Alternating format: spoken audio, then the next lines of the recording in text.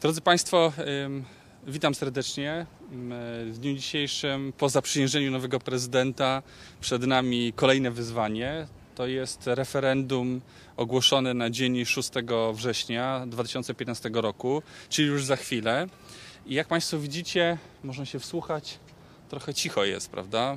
W ogóle w mediach, e, jeśli chodzi o aktywność polityków, niewiele mamy też takich sytuacji, gdzie ktoś nawołuje do udziału w referendum. To nie jest przypadek. Referendum, które zostało ogłoszone, jest e, referendum o zmianie obecnego status quo w naszym kraju, o zmianie systemu politycznego. I tak niewielu ludziom zależy na tym, żeby do tych zmian e, doszło, żeby referendum uzyskało e, odpowiednią e, frekwencję, żeby Polacy w ogóle do niego, do niego poszli. Ja chcę dzisiaj e, przełamać to milczenie wokół referendum, przełamać tą ciszę. E, Jako obywatele Rzeczpospolitej mamy wielką szansę e, skorzystać z naszego prawa w demokracji, wypowiedzieć się w referendum, które ma olbrzymie znaczenie prawne w naszym kraju i odpowiedzieć na trzy zadane nam pytania. Więc dzisiaj ja zachęcam do tego, żeby odpowiedzieć tak na pytanie o wprowadzenie jednomandatowych okręgów wyborczych. Za tym pytaniem kryje się pewna idea, bo system e, jest skomplikowany, niektórzy proponują system mieszany, natomiast generalnie idea jest słuszna i to jest pytanie, czy my powinniśmy iść w kierunku osobistej odpowiedzialności polityka za e, wykonywane obowiązki, odpowiedzialności za podejmowane decyzje.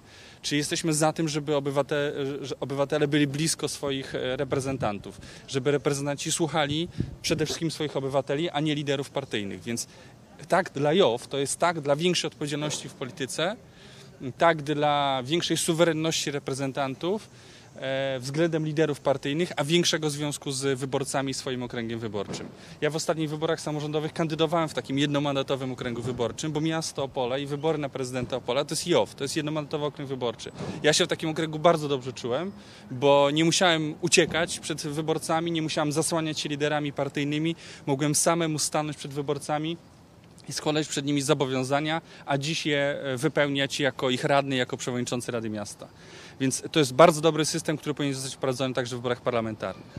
Zadano nam również drugie pytanie, nieco przewrotnie, czy jesteśmy za utrzymaniem obecnego systemu finansowania partii politycznych z budżetu.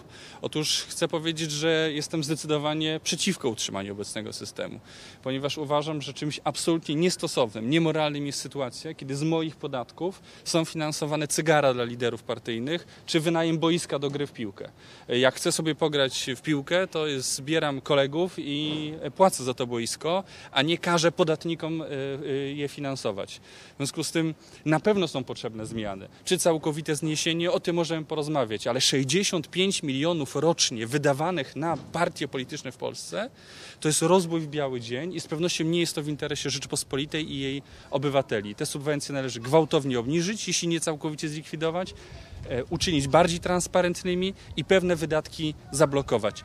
Ja nie godzę się jako obywatel, żeby z moich podatków były finansowane cygara e, liderów partyjnych. Wreszcie mamy trzecie pytanie, które jest pytaniem co najmniej niestosownym.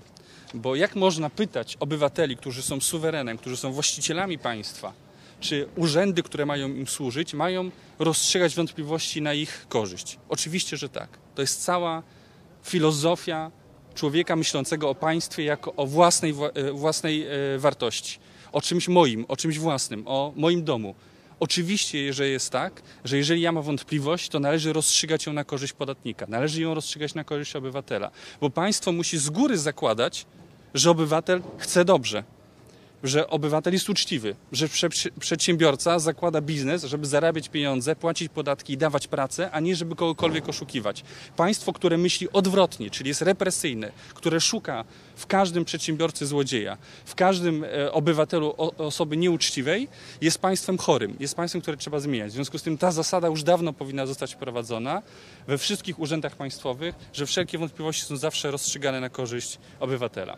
Dzisiaj Chcę powiedzieć w ostatnim zdaniu, dlaczego postanowiłem się zaangażować w kampanię referendalną i dzisiaj tymi plakatami, aktywnością w internecie spotkaniem z mieszkańcami chcę ich przekonywać do głosowania na tak, na nie i na tak w poszczególnych, e, przy odpowiednich e, pytaniach.